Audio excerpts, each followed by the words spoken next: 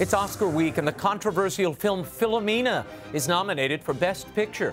Some critics claim it's anti Catholic propaganda.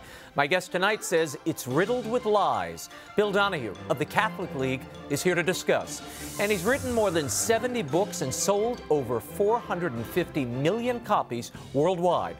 Author Dean Koontz joins us in an exclusive interview to share the secrets of his art and tell us about his latest work, Innocence. And finally, how safe are the generic drugs you're taking? Where do they come from? And what's the government doing to safeguard the quality of those medicines? Research fellow at the Manhattan Institute and FDA watcher Yevgeniy Feyman will tell us. Lots to get to tonight. The world over begins right now.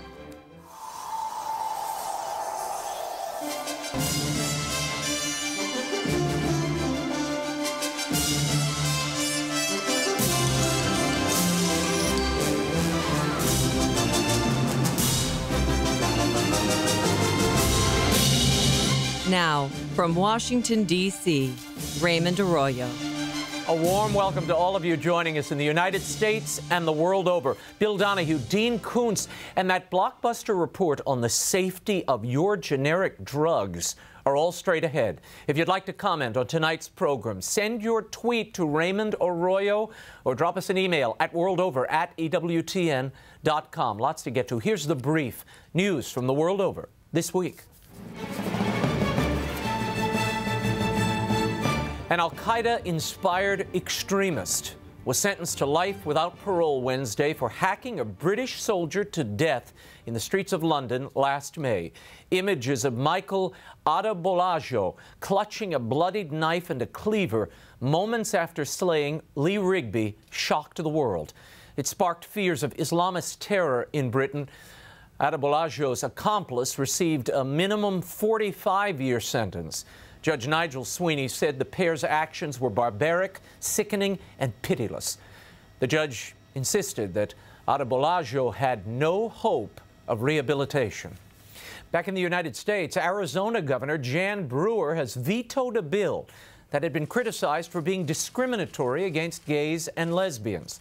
The bill is an update of the state's 1999 Religious Freedom Restoration Act it was designed to give businesses the right to refuse to participate in gay marriages and other activities that run afoul of their religious beliefs. Meanwhile, in Texas, a federal judge, Orlando Garcia, struck down that state's gay marriage ban on Wednesday. He said the state law wrongly denies the institution of marriage to gays and lesbians.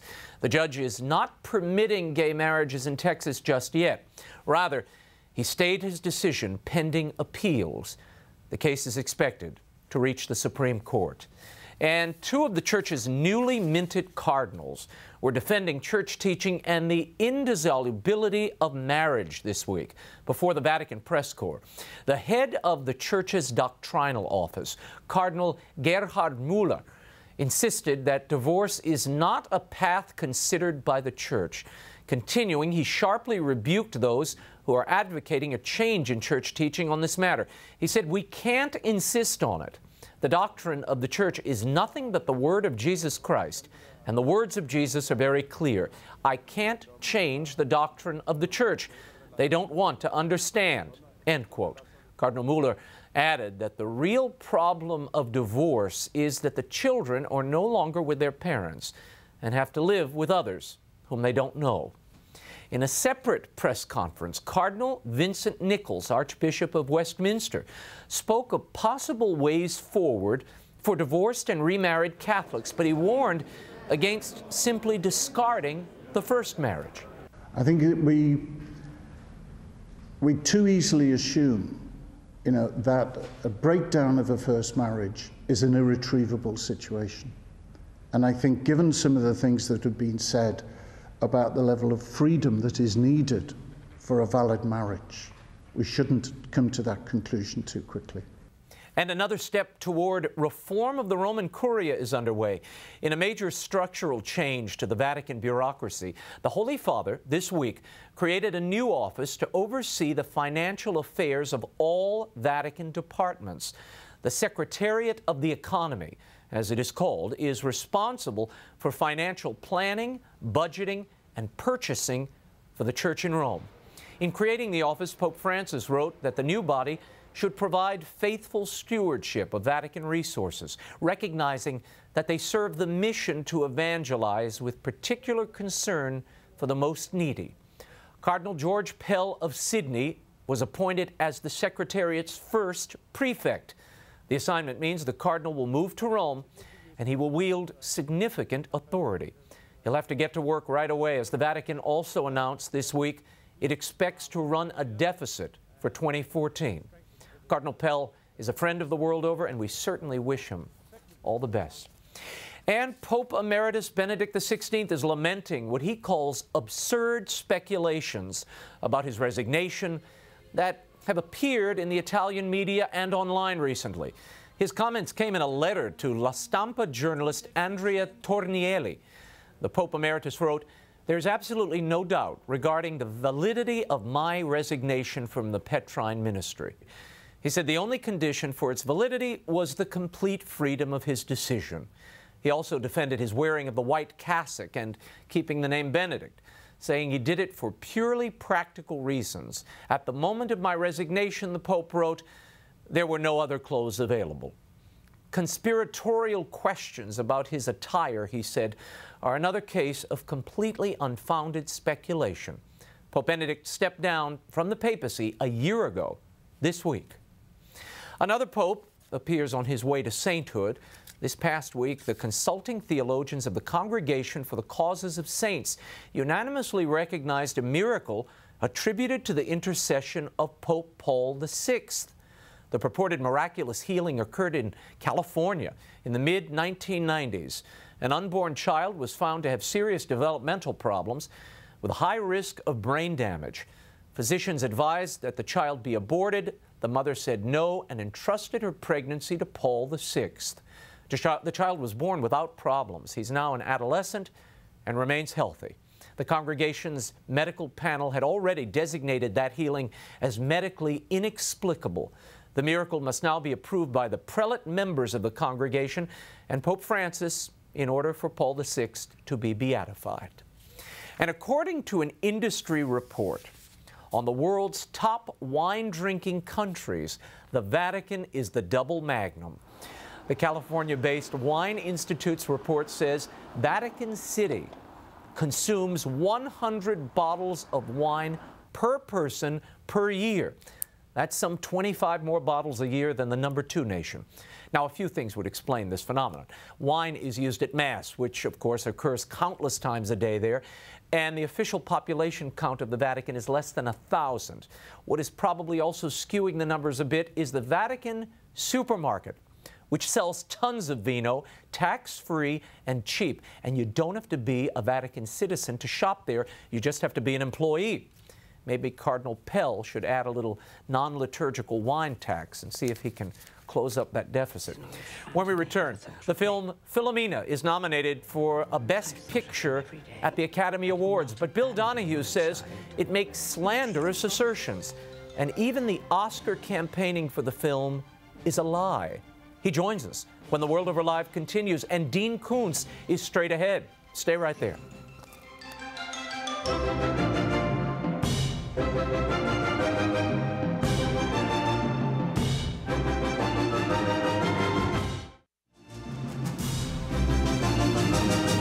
Now, once again, Raymond Arroyo. Welcome back to the World Over Live. As we approach this week's Academy Awards, one film has been generating some major controversy. Philomena from the Weinstein Company is nominated for four Academy Awards, including Best Picture. It tells the tale of a woman who seeks to find the child she gave up for adoption in the early 1950s. My next guest objects not only to assertions made by the film, but to its characterization of the Sisters of the Sacred Heart, who ran the so called Magdalene Laundry so central to the story. Joining us from New York via satellite is the president of the Catholic League, Bill Donohue. Bill, thanks for being with us. Thank you for having me, Raymond. Now, Bill, this is about a woman's personal search for her son. It's been nominated for Oscars. It's made $89 million at the box office. Here is what the screenwriter and co star of the film, Steve Coogan told ABC News. Listen. What drove you to this story? I read it in the newspaper four years ago. If you had a child out of wedlock uh, 50 years ago in Ireland, your family would often disown you. And so these uh, mother and baby homes were set up, and if you're a young woman who was pregnant, you'd go in there, you'd have your child. The child would be sold uh, to Catholic, often uh, American, wealthy American couples. What's wrong with that, Bill? Philomena Lee, in, in real life, went to one of these uh, Magdalene homes, and uh, Mr. Coogan claims she had this experience. Look, her mother died when she was young. The father had six, six kids, six, three boys and three girls. He kept the boys, he put the girls in a convent school. In 1952, at the age of 18, Philomena Lee got pregnant out of wedlock. The choice was for her to keep the baby, the street, or the abbey. Well, she couldn't take care of the baby herself. She didn't want to live in the street. There were no atheist homes for her. So the nuns took her in because the father brought her to the nuns and asked them if they would take her in. She signed papers when she was 22, not a teenager. Mm-hmm. She's 22 years of age. She voluntarily signed a consent form giving up custody of her son. She never went to the United States looking for her. Mm. He's always, it's been a lie from the very beginning. She never fit, set foot in the United States until November of 2013 to hawk the movie. But in the movie, it has her going with Coogan, who play, it was basically the guy who's the, the author, Martin Sixsmith, coming looking for this son frantically. Look, the son died of AIDS in, 1950, in 1995. She never made any attempt to see the son. She lied to her own daughter, Jane Libberton, never told her own daughter that she actually had a brother because she just kept it a secret until she got loaded at a Christmas party in 2004. And everything I've said is not a matter of dispute. It's indisputable, and I have the facts, and I've annotated it in a in a uh, lengthy article. It's up on our Internet Catholic League. Nobody can dispute anything I've Bill, said, but, and they haven't even tried to. But we keep hearing, and every time this story is covered, every time uh, Judi Dench is interviewed or Philomena herself, we keep hearing and reading the child was taken from her by the sisters and essentially sold to the highest bidder. What's wrong with that depiction? Well, you know, it, it, has the image of these kidnapping nuns running mm-hmm. down the mm-hmm. streets of Ireland in 1952 looking for pregnant girls and fallen women and then bringing them in. What actually happens, I said, the father brought Philomena there at the age of 18, says this kid, doesn't know what to do with him. They, she voluntarily signs the consent form, giving up custody, and then a couple from the Midwest agrees to adopt the baby. There was no ch- no charge. There was absolutely no fee whatsoever. They decided, as people often do, to give a donation now, there is a profound difference between a fee that is charged and a donation. And I think these people like the Weinsteins and Judi Dench and Sixsmith and Coogan and the whole rest of this team and all the complicit media, they know the difference. It'd be like saying, well, when a Catholic lights a candle, you have a, a, cash box there. You're not required to put a dollar in there to light a candle, but if you would like to make a donation, that's fine. In the book, they actually uh, admit to some of this, but they're selling this as saying they were sold to the highest bidder. It's an out and out lie. Now, what really bothers me is this, Raymond. If you look at the book Philomena by Martin Sixsmith, which Coogan plays him in the right. movie, in the prologue, the last paragraph, first sentence, it says everything in this book is true, comma, or, or, well, why, why the or? As soon as you have an or, it's not everything. Mm-hmm. And the or is that it's re- or reconstructed to the best of my ability. Gaps have been filled, incidents have been surmised. I mean, if they're pressed out on Dan Brown with his pack of lies about the Da Vinci Code, when they're pressed, they say, well, yeah, it's true, we fictionalize some things. You fictionalize everything, and everything they did was to paint the nuns as cruel. The nuns were the ones who took her in, the nuns were the ones who got her the job, and the alternative was the street. Why they don't tell the truth is something which I think is the good reason why the Catholic League is in business. Now, the New York Post film critic Kyle Smith, whom I spoke with, he said that this is nothing more than organized hate, a hateful and boring attack on the Catholic Church. Now, Bill, some would say you are being used by Harvey Weinstein in his rally, his attempt to rally Academy voters, and by continually criticizing the film, you're only drawing more attention to his cause. What would you say to that? I would say that if this were a, a B movie and was being shown at the artsy theaters here and there, and it wasn't up for a uh, an Oscar, mm-hmm. uh, I don't think I think that uh, that argument might carry some validity. The fact of the matter is, I didn't bring it to the attention of, of the Oscar people. The Weinsteins have an enormous amount of money. This is their eighth anti-Catholic movie. They're well known. He has the personal phone uh, number of the President of the United States and Hillary Clinton. They don't need Bill Donohue to do it. Now, if I didn't say anything about a movie which has been this well hawked by the establishment, I might as well close the doors of the Catholic League. Mm. Am I giving it more attention? Maybe so, but I'm also getting the facts out to people. When we wind up on the front page of, of the Sunday Times in London and in Dublin just recently, and we, we and we get these people, uh, their, their back is against the wall, and they're trying to answer these questions now, trying to look at the wiggle room they have.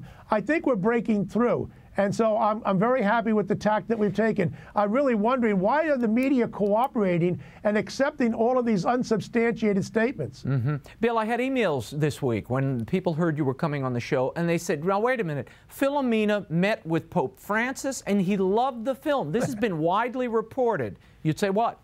You know, it was in, in January of this year that Harvey Weinstein went over to Switzerland to meet with some Vatican officials to try to get them to have the Pope watch the movie. He failed. The Pope has never seen the movie. Don't take my word. Father Federico Lombardi of the Holy See right. press office has said he doesn't watch these movies. What happened is that a master of ceremonies, not the private secretary, to the Pope. A master of ceremonies, one of nine, and another Vatican official did preview it. She didn't get the personal meeting with the Pope. She was part of a general audience. Yeah. I have a picture of them standing behind, uh, uh, beside a wall, reaching over to the Pope. All the Pope did, we have the pictures, we have the audio. The Pope said thanks. That's it. There was no private meeting. So the lies never, never, never stopped. Now the latest lie is that she found her son. Her son died in, died in 1995 right in the very grounds of the convent, which, which helped her out. I mean, they just simply lie all the time. And if they are if they are so right and I am so wrong, do you think any one of them would have the guts to confront me on TV? Hmm. Before we leave Philomena, now this is Jeff Pope. He is the co-screenwriter, and he's seemingly responding to your criticisms. Listen. It's not an assault on the Catholic Church at all. You know, absolutely isn't. I think. Um, um, what happens the, during the course of the, of the story is that Martin comes to respect Philomena's faith. In terms of, of faith, I think it's, it's Martin um, has really is quite awed by the strength of Philomena's faith. I think what the, the target is, and I think this is true of a lot of problems that, that beset the Catholic Church at the moment, is really it's about truth and reconciliation rather than trying to hide things and cover them up. And I think this is part of that process. I think it's about being honest about what happened in the, par- in the past. Bill, do you accept yeah, that the explanation? the, the, the honesty uh, uh, uh, about the matter is that uh, they're lying about that as well. You know, every time I, I confront a piece of artwork or sculpture or it's a movie, every time we're insulted, I'm always told that I misinterpreted. I've never gotten it right, ever. Hmm. it's always a love letter. I guess somehow went right over my head. So when I, I can't use the word, and I won't, I'm not even going to use an abbreviation. Hmm. Uh, it's a very obscene word, the so-called Catholic Church. I guess I missed the point on that too. Look, when you lie about my religion and you can't substantiate it, and as I say, I've annotated this, I have the proof that I'm correct on everything. I didn't make this stuff up.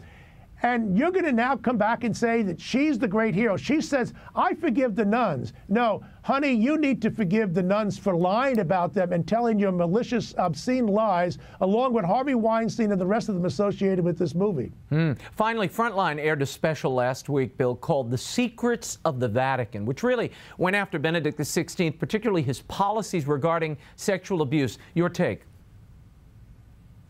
Well, the game that is being played by the Catholic left and the secular left, there's really not that much difference between the two of them, quite frankly, is that we got good pope, bad pope. Okay, the bad pope is Benedict, and to some extent John Paul II. We got to make uh, uh, the villain out of uh, Pope Benedict XVI, who did more, by the way, to deal with the question of sexual abuse of minors than any pope. And the, then they can sell, they're, they're in a position to elevate Francis. Now, I love Francis too, but what they're doing is they're inflating him. This is part of the game. So we, he's going to come to the rescue and he's going to do all these wonderful changes and whatnot. Mm-hmm. And uh, it's a slam on Pope Benedict XVI. I will not be part of it. I love Benedict and I love uh, Francis, but this is the game that is being played by the left. Mm. Uh, you've been embroiled recently in this controversy uh, about the St. Patrick's Day parade. You and the Catholic League march every year. There's been controversy. The mayor of New York, de Blasio, has said he's not going to march out of protest because uh, gays are not allowed to march in the parade. Now the New York City Council is joining him. Your response? Again, people are factually incorrect. This is not a matter of opinion. Gays have never been barred in over 200 years from marching in the St. Patrick's Day parade. I have gone on the radio and personally invited homosexuals to march with the Catholic League, provided you be like everybody else, which seems to be a hard thing to do these days, and that is just simply blend in. Look, the St. Patrick's Day parade, I know John Dunleavy, he's a friend of mine, he runs this, the parade committee. They have a rule which says it's about St. Patrick, not anything else. Pro life people can march in the parade, just like gays pro-lifers cannot have their own banners, their own contingent, their own float. So according to the logic of these people, if the if the St. Patrick's Day parade is anti-gay, it must be anti-life. Now everybody knows this. There's nobody who's claiming victim status except for homosexuals. They're the ones who want to crash the parade. If I wanted to get into their gay pride parade with my own float with big banners saying straight is great, they would have a right to feel uh, put upon, and I wouldn't do that to them. You know, they just don't want to blend in like everybody else. And if people think that I'm exaggerating this, take a look at the pictures of the gays in the in the parades in Queens in New York, and Sunnyside and, and Woodside, and in Dublin. They don't dress like normal people. They don't act like normal people. And when it comes to the gay pride parade, I have seen and have pictures of them going naked in the streets. I know where they want to go with this. And all I want is a day for St. Patrick. They don't believe in tolerance. They don't believe in diversity. We won in the Supreme Court of the United States. If they want to have their parade, fine but they can't crash ours or lie about it. Very good. Thank you, Bill. Be sure to look for Bill Donohue's op ed in the March 3rd edition, Monday, of the New York Times. And you can follow Bill Donohue and all of his work at the Catholic League at CatholicLeague.org. Their annual report is also out. When we return, my exclusive interview with best selling author and master of suspense, Dean Koontz. And how safe are the generic drugs you're taking? Our report is coming up when the World Over Live continues. Stay right there.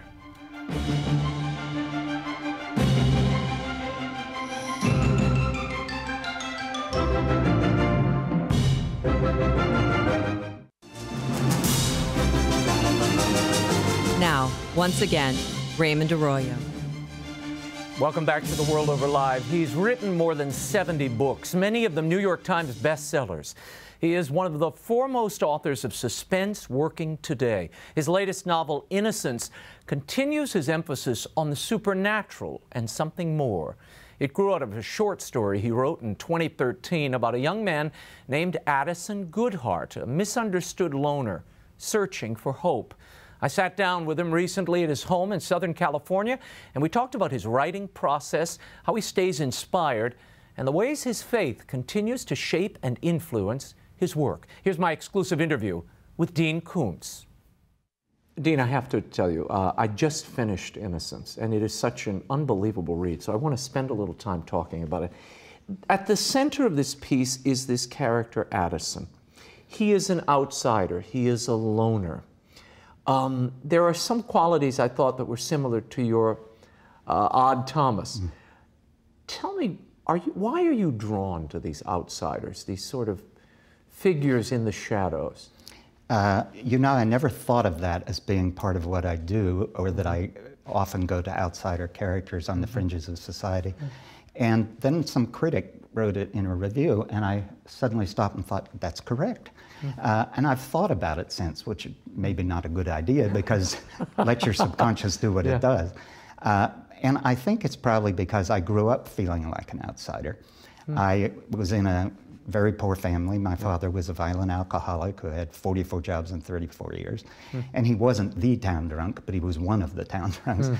And so I always felt humiliated as a kid and mm. was very shy because of that. So I always thought, I think probably all the way through college, I felt like an outsider to things. Huh. So it's probably why I'm drawn to heroes who aren't big, strong men of action, right. or instead fry cooks in a desert diner, or yeah. or somebody like Addison, who is the ultimate outsider. Yeah, yeah, living on literally living underground, and and there's something about that that, that I, I, certainly arrested my attention. He experiences the world really through the written word, through mm. books, rather than direct contact. Is there any connection between that character and Dean Koontz? That's probably exactly correct because when I was a child, the way to escape what I was living through, my mother was a great person, uh, mm. but it doesn't matter if there's one sort of sociopathic yeah. personality in the house. And uh, so I escaped into books and I went to the library. I as early as 10, probably even probably 8 or 9, I would go to the library and go through the children's book section. And I remember when I got to be 12, the librarian, I had read all the young adult fiction and oh everything. And so the, uh, the librarian said, you know, you're not allowed to go into the adult section until you're 16, but in your case, I'm going to let you go in there at 12. And of course, this was in a much more innocent time, so mm-hmm. there wasn't exactly anything horrifying in the adult yeah. section. Yeah. Uh, but books showed me not just escape, how to escape uh-huh. my circumstances, they showed me that there were other ways people lived. You know, mm. when you're a kid, you kind of tend to think that the way things are in your house when the doors close mm-hmm. is the mm-hmm. way it is everywhere. And so books were the way I learned about the world. So in that sense, I have Addison. Yeah, same thing. There's a little bit of you in Addison. No, he was, he's such a beautifully drawn character. I mean, you are, your heart goes out for him instantly he obviously has some sort of defect. Uh, he hides his face. People don't want to look at him, and in fact, they're drawn to rage when they see him, and, mm. and horrible things happen. So he sort of lives in the shadows. In some ways, there is a real lyrical tenderness here in this work, in between the lines almost. Um, I, I, I, found it extremely moving, and there are obvious things we cannot talk about. Mm. You want to leave some mysteries intact and mm. let the readers enjoy the experience. What are you hearing about this, and why is this so different, do you think? You've even said that this is very different for you. Why? It's, um, there's times in your career when you make a leap that you, you don't know where it came from. It might have been the cumulative things you've been writing all these years and the, mm-hmm. the lessons you learn as you go. But it really sometimes just feels like you've been given an inspiration, you've been given a gift. And this book felt like a, a grace given to me. When I started to write it, I knew I wanted it to be very lyrical. We have such a beautiful language, mm-hmm. and there's so much you can do with it. And I knew that this story would be best told as if it was very lyrical, if it read almost like poetry. Huh. Uh, and I didn't know if I could achieve that, but as soon as I heard Addison's voice, and since he tells the story, as soon as I heard his voice, it began almost to tell itself. Mm. I've never had anything write so smoothly uh, with so little effort on my part as this. Now, not to say it was easy, yeah. it's never easy, mm-hmm. but um, I was, um, in this one, the language more than ever is as important as the plot and uh, because it creates mood. And I don't know that I've ever created sustained mood as much as I have in this. And it's interesting because there are so many different characters in it, even though he's narrating it. Mm-hmm. There are there's a quite a cross section of city life in it, and uh, and nevertheless, as it kept going, I kept beginning every day. I go back and think. I read what I've written, and I think I'm not going to be able to sustain this. And the moment mm-hmm. you don't sustain it, the dream breaks. Yeah, you've lost the audience, and mm-hmm. uh, but happily it's sustained all yeah. the way through. Where did you find that voice? That's all. That's always such a challenge when you're when you're writing in first person in the voice of a character. Finding that voice can be awfully difficult. And this one just came to you. Mm-hmm. It's uh, what you want. What you definitely don't want is if you've done other first person narratives. Mm-hmm. You don't want him sounding like Odd Thomas or like I I wrote a book called Life Expectancy, Oh, yeah. and that is a very different voice. Mm-hmm. Uh, but in this case, I just almost started to hear Addison speaking to me, Hmm. and uh, he's he was such a charming character. This book isn't full of uh, odd Thomas kind of humor. It's Yeah. more sober. It is, yeah. story. I, I was actually, look, I, I thought, oh, well, I know there's going to be some real laughs along the way. And they're really, it, it's sort of a very suspenseful, heartfelt, um, really, it's, a, it's people searching for love and uh, experiencing loss and rebirth. I mean, it really is a, you, you deal with themes here in a way that I don't think you've ever dealt with them before. You- do you have a sense of that? I think so, but it's a it's a very difficult thing it, to to describe. Uh, why, do I know I've dealt with themes here in a different way and perhaps a deeper way than before? Yes. Can I explain what I mean by that? Almost certainly no. Uh, it's just that as it began to unfold, and there is Addison, to give the viewer a little idea, Addison on the night he's born is born in a remote house high on a mountain.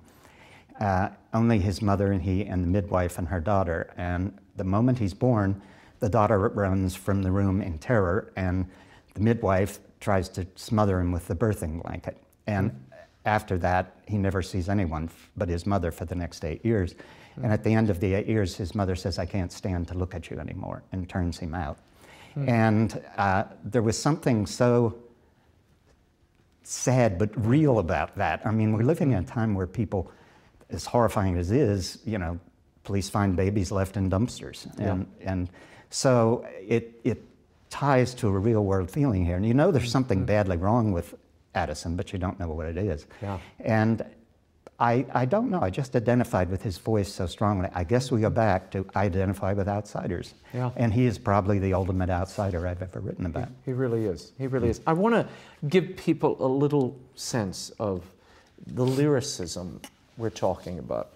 There's one point in the book, and you write, and this is Addison just describing a snowfall. And in it, he really captures, and you capture, I think, uh, one of the themes of this work. He says, Through the stillness, snow fell not in skeins, but in infinitely layered arabesques, laying boas on the limbs of leafless trees, ermine collars on the tops of walls, a grace of softness in a hard world. Is that what this work represents for you? Yes, in fact, it does. The, the title Innocence is, um, I had another title for a very short period of time, and, and I, I came to my senses. Uh, and it was, uh, uh, I knew from the beginning this book is about innocence, and it's a celebration of innocence. Uh, it, it, Addison is completely innocent, uh, and, and I, I will say no more, but Yeah. he's, he's a very sweet character, and uh, I, we're living in a time where we've lost our innocence as a society, as a culture, and I think it's one of the bi- big things that's wrong. You know, when I was a child, I could get on a bicycle and just ride all over town. I could be gone all day. Nobody would ever think that anything could happen to me. Uh, now, parents are afraid to let their children play in the front yard. Right. Um, and our culture has just lost its innocence. And uh, I, I wonder how I would grow up if I was young now and Yeah. growing up in this culture. And I wanted to write a book that celebrates characters who are innocent, who are not hipsters or, you know, they're, they're, they are cool, but they aren't cool by the definition of what's cool th- these days. Yeah, well, Gwyneth, the girl character in here, the, the female lead, she's certainly a goth girl. She's a she's sort of a hipster. Gwyneth has a, uh, both of them have problems. Addison, mm-hmm. when people see him, his eyes, his face, even his hands, a, a glimpse of him, they are sometimes driven to want to kill him, and, mm-hmm. and they furi- infuriated and terrified at the same time. Gwyneth is, a uh, she has social phobia. Uh, She can't bear to be touched around people. And when he meets her and says, well, I can't allow you to look at me and you can't allow me to touch you, we're hostage to our eccentricities. We're made for each other. And uh, uh, so, in her way, yeah, she dresses in all this goth, so people, it will turn people Are away from her. her. Yeah. And it's her disguise, in a way, and her way of putting distance between herself and There's a, there's a line that, that leapt out at me, um, and it's late in the book. Addison says this There are things you hope for but never expect to receive because there is no luck and never was. But also because there are things of such great value that not all the good you could do in an entire lifetime would be enough to make you worthy of them. If one of your hopes is fulfilled, if that precious thing ever comes to you, it comes to you as a grace.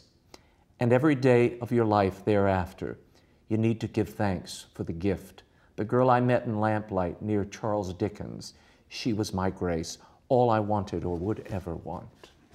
There is a sort of um, wrestling here with an innocent love, a yearning to be loved and to love.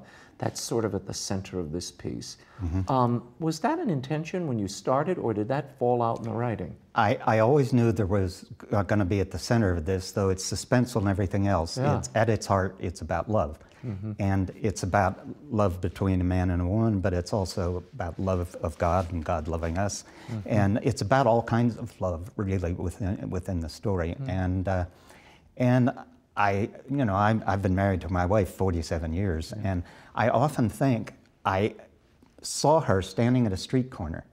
Uh, we had gone to the same high school, uh, but there were so many students in it. It was the central high school for the entire county.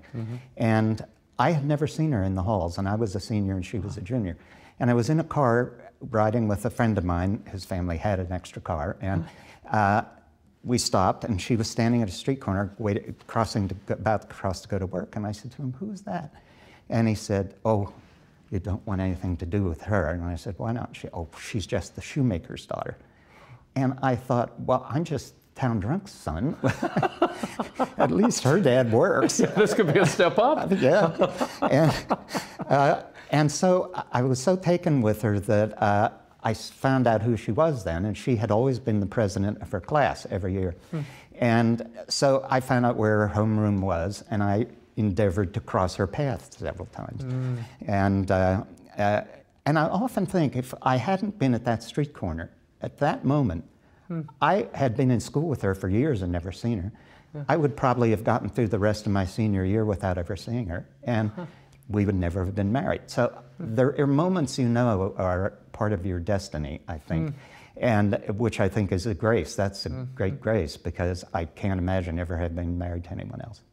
So And- and- that, that's sort of, I guess, where I got Addison and you Glennon feel that in the book. You feel it. It's deeply felt and rendered in you, and, and the reader certainly experiences it. There is also random evil throughout this book, and Mm-hmm. it moves at with an alarming sort of randomness and, and terror. Um, is that part of your conception and understanding of evil in the world? That it doesn't pick one or two targets, but lashes out in many directions and comes unpredictably? It's evil is unpredictable. Uh, it's because it comes out of chaotic thinking, um, and we know who the father of chaos is. so, uh, in in our world, we see random evil of the most outrageous kind all the time. It's uh, you know, I hardly ever watch the evening news anymore because there's too much on it I don't want to let into my head. Tell me all about it. I got to cover this stuff. So, it's. Uh, That's why I read your books to escape from it. Well, in a book, in fiction, which is why I'll always write and, and love to write, is you can manage the world. Yep. You can take the world that sometimes seems to make no sense, and you can say, which this book does in particular, it can say it makes perfect sense if you're willing to see the world as it truly is, in all its mystery and depth, and then things begin to make more sense to you. Um, and people will say to me, um, not so far in this book, but they, I'm sure I will hear it. Well, uh, is this going to say there's good and evil? Because I, you know, I don't really believe there is. I think there's mm-hmm. levels of gray. Even in bad people, there's a little goodness, and even in good mm-hmm. people, there's badness. Yes, but there is evil, and it's uh-huh. it's manifest, and you see it every day. And if mm-hmm. you don't recognize it, if you're going to live your life thinking evil isn't real, you're defenseless hmm. because it is real. You have long, in the course of your work, championed and pointed out the great value in the disabled, in those with disabilities. There is a girl at the center of this book who is in a coma like state. Um, and one gets the feeling from some of the characters that she should have been disposed of a long time ago. Is that how how calculated is that on your part that I'm going to put someone in this book who has disabilities because I want to show the value of their life? Well, I, I will say I didn't start knowing that character was going to be there, but there came a moment in the story where I knew there had to be something, these two characters together, there had to be someone they needed to save at, at the penultimate moment of the story. And because my wife and I have for a long time worked with charities for people with severe disabilities, uh, I've met many, many of them, uh, hundreds, and I've, I've, they're inspiring people because uh, they don't complain about their lives. They just want to live as fully as they can.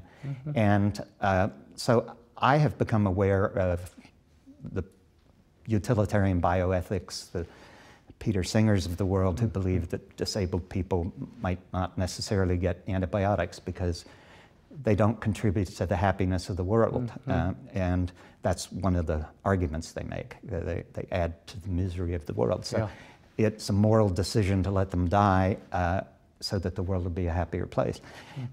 I think that's somebody who has something seriously wrong with them to think that way. Because what I've gotten out of people I've met, children who, the most heartbreaking are children with severe disabilities, but they're exuberant, the ones I've met, and I've met many of them. Uh, we've known little girls in wheelchairs who handle them like skateboards, and they're, they're just aggressive and just full of Incredible. life. And those people don't think their quality of life isn't worth living. They think quality of life, they'd like to have the higher quality of life, but they're happy.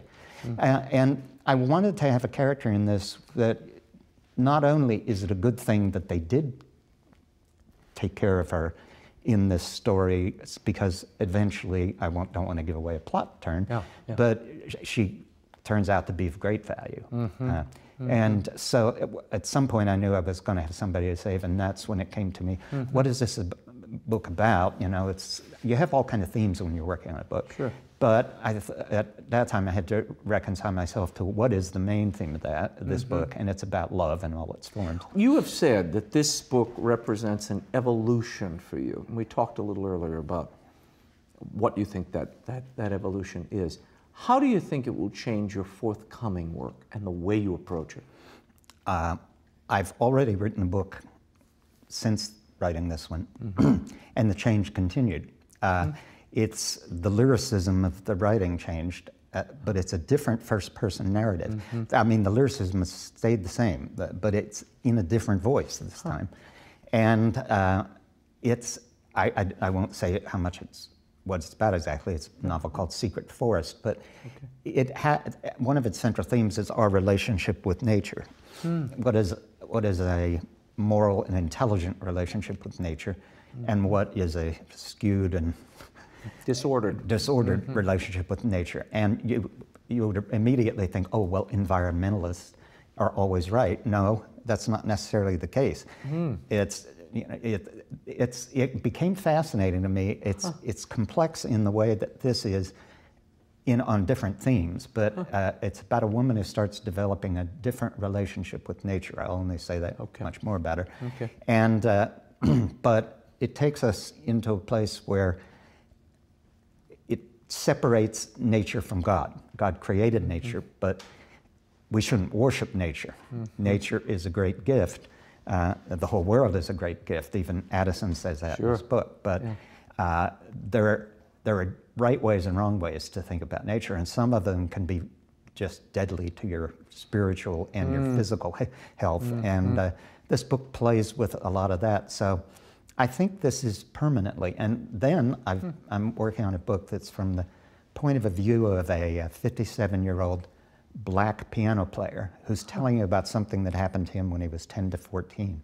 And it's different from these books, but because it's being told like oral history. And mm-hmm. I've never done a book like that either. So hmm. all of a sudden, at my age, you're supposed to be going, oh, I might retire. And I'm just, You're just getting started. I'm very exhilarated every day I go into the office. So. A number of people I've spoken to, um, librarians who've read the book, who really read, um, some rabid Dean Koontz fans, and my own perception is that the corner you have turned here, there's, a, there's almost a Flannery O'Connor feel when you read this book because it is probing into the heart of what afflicts so much of the culture and so many of us. Mm-hmm. Um, and there is a, at once, a, a great story being told, but there's almost the philosopher whispering in your ear as you move through it. Are you aware of that? Uh, to the extent that I, I've long had, there's some people don't like that. I never get on a soapbox in a novel. No, no, you don't. But Nor I, do you here. No, no. But, but I like characters who think about things. Mm-hmm. I, I, I, I like character, Odd Thomas is thinking about things at all times, and he tells mm-hmm. you what he thinks of yeah. all kind of things yeah. in the world. And in Innocence, I knew that this character has had a lot of time to think about things. Mm-hmm. He's lived in secret under the city in storm drains and subway tunnels mm-hmm. and all of that, and he can't show himself in public. And now at 26, you know, he's coming out because he sort of meets this girl in the library late at night. Mm-hmm. And he's had a lot of time to think about life and to read about it. And even though he hasn't interacted with people a lot, there's a great wisdom in him. And mm-hmm later in the book, we'll, we'll understand why there is yeah. a great wisdom yeah. in it, but it comes as a surprise. And he's, uh, so I'm aware of that, and you, all, I just, I want to know what I think about the world. Uh, mm-hmm. And a character isn't always the author, um, mm-hmm. but because you have to be true to the character. Uh, but it helps me to write a character who is observant and who has a little bit of a philosopher in himself because mm-hmm. it helps mm-hmm. me to think things through mm-hmm. in my own life. And th- this book, I'm not saying it's like therapy, but it's it's like a confessional in a way. It's it like really little, is. Yeah, in some ways, it's like a, a, a, a retreat as a dream. Oh, it has like that, that yeah. feel to it. It's and and you said earlier you don't get on a soapbox. You don't. These you're riding along with these characters. You're immersed in their story. There are moments that are absolutely terrifying. Uh, the evil is palpable around these characters, so the world is sort of coming in on them. And yet, when you blow by these scenes, on the other side of them, you go, wait a minute. And you sort of look back and go, wow. You know, it, it makes you rethink or you see situations or events in the culture in a or in your own life in an entirely different way. It is a Catholic sensibility that seems to me is becoming more pronounced beneath the work mm-hmm. not on the surface of it. Are mm-hmm. you conscious of that? Yeah, I would say that uh, there's a character of a homeless man in it. Mm-hmm. Uh, it's not a main character, but he's a strong secondary mm-hmm. character. And uh, he has a surprising role to play, but there's a character in the book who basically has saved him in a way.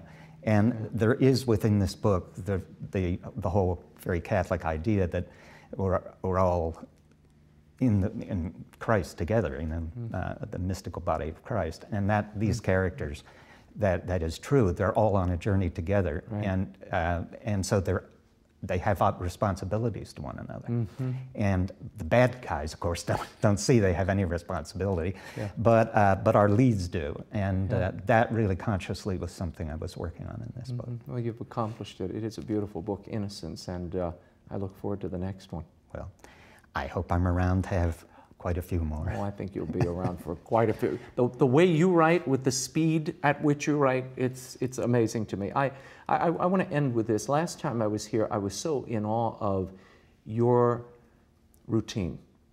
Every day, you walk down this hall, you go into your office, and you basically sequester yourself away there for the day. This mm-hmm. is your life mm-hmm. here.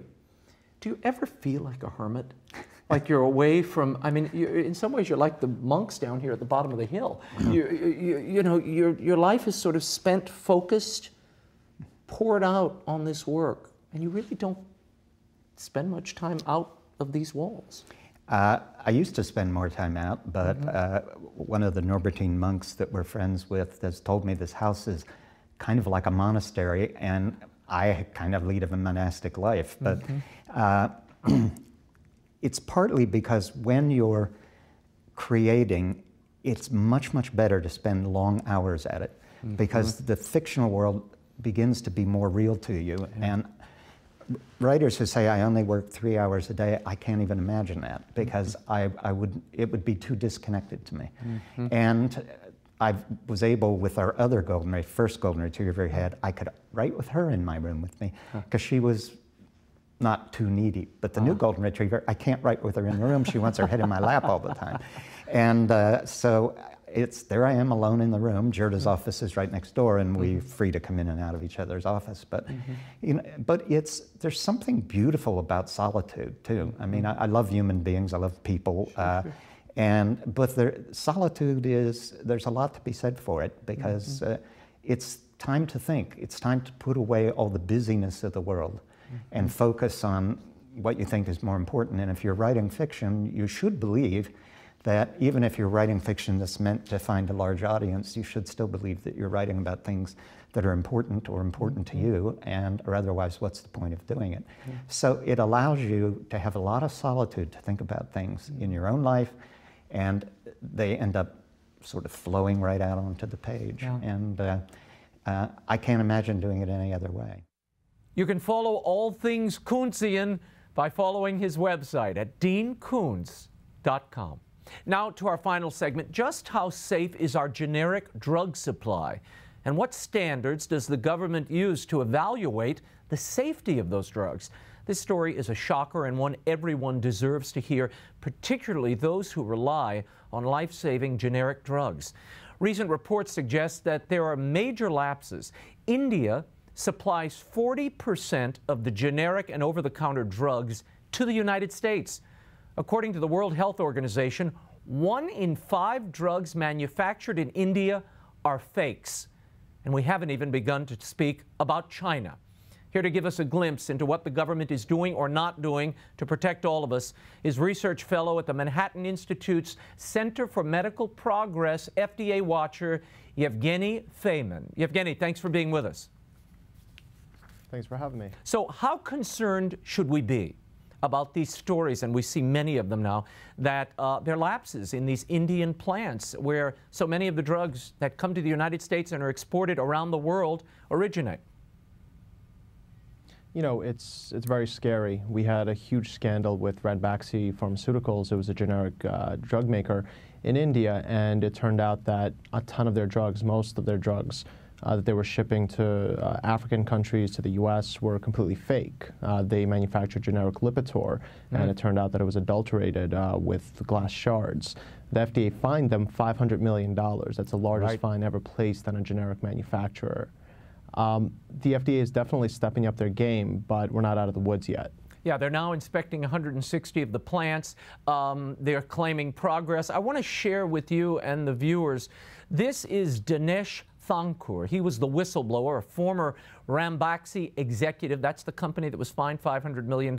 He speaks here about the data needed to prove the effectiveness of these generic drugs made at their Indian plant. Listen. The data is important because the FDA or other agencies globally look at that information to give you marketing authorization to sell that drug. That it works, that it's safe. That's right. We start getting into the files, and lo and behold, we find that none of that exists in the first place. What did that mean? It means that we've gotten approvals from the FDA to uh, sell drugs that were based on no data or data that was fraudulent.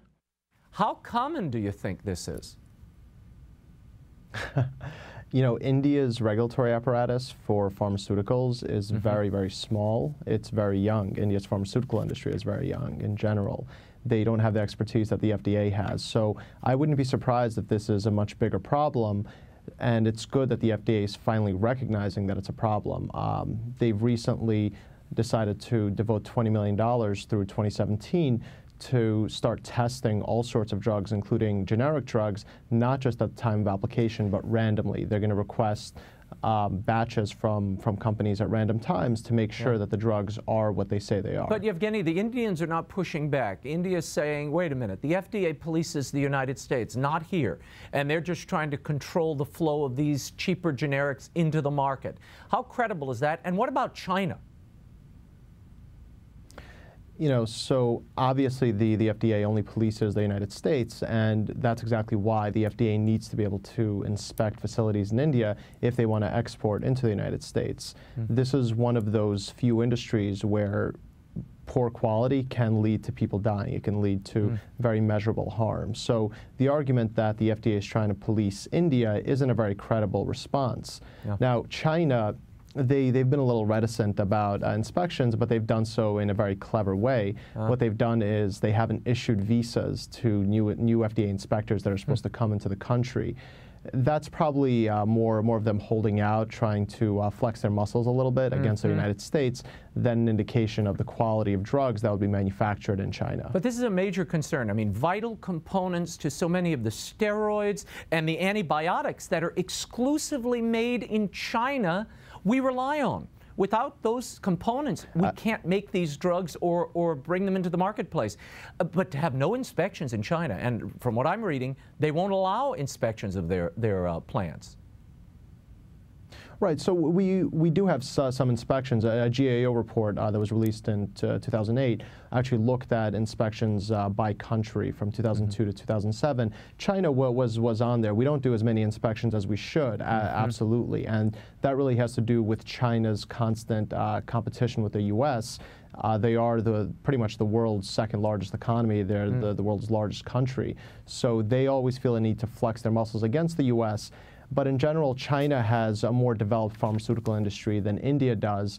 They have a better class of uh, biological engineers, of chemists that really are dedicated to their craft. Whereas in India, because this, indus this, this industry is so young and they're trying to protect mm -hmm. their cost advantage um, as early as possible, we're seeing much more quality issues than what we're seeing in China, even with a few inspections that we have done in China. Yevgeniy, we only have a minute. How concerning is all of this, given that the Affordable Care Act is routing so many patients in the United States toward generic drugs and away from the marquee brand brands? you know, we, we've, we've been using uh, generics um, much more than brands for a while now. So about 84% of prescriptions that are prescribed in the U.S. are for generics. Now that, that's going to increase even more with, with Obamacare, with the Affordable Care Act, and it is something we should be concerned about. That's why I'm not really worried about the FDA stepping up its game here. This is the one time where I'd say that the FDA should pursue more heavy-handed regulation to make sure that a Ranbaxy case never happens again. And do you see that happening? Or is this too slow, this progress? I mean, it seems they're late to the game of policing these uh, plants or inspecting them with any, you know, with any uh, measurable imprint.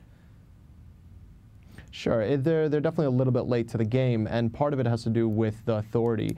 Uh, we will need an act of Congress to give the FDA more discretion in what they demand from companies, how they inspect facilities. Right now, it's very difficult for the FDA to ban uh, imports from a company um, unless they meet particular requirements. They can only ban facilities. So Congress needs to step up their game also, and I am hopeful that in the coming years, Congress is going to do that. Very good. Yevgeniy Feyman, thank you so much for being with us, and we will continue to watch this story. It's very important. That is all the time Thanks we have for now. Until next week, the show continues on Facebook and Twitter. Like me on Facebook, follow me on Twitter. The links are on my website, and I post the entire show there each week. And if you sign up for my free e-blast, I'll send you exclusive content and the latest news. Go to the center of the website page at raymondarroyo.com. You can also catch the show 24 7 on EWTN's YouTube channel.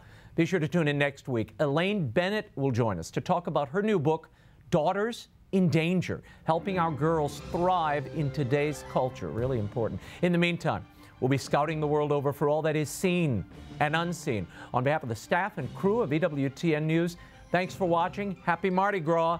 I'm Raymond Arroyo from Washington, D.C. We'll see you next time.